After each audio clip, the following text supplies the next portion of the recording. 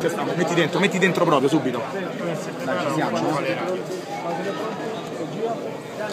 Ecco, le prime emozioni, il gol all'Olimpico davanti al presidente americano per per vedere cosa stava succedendo intorno alla squadra.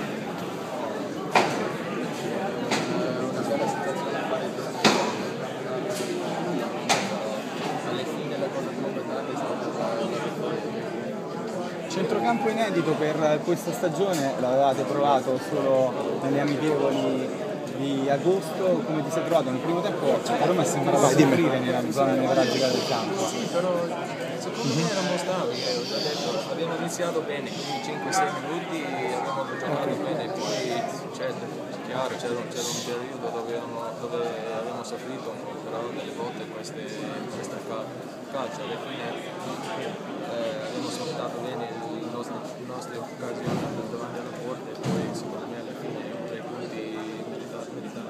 De Rossi Osvaldo fuori, Zeman prima in conferenza stampa ha detto che entrambi non hanno le giuste motivazioni. Che idea ti sei fatto?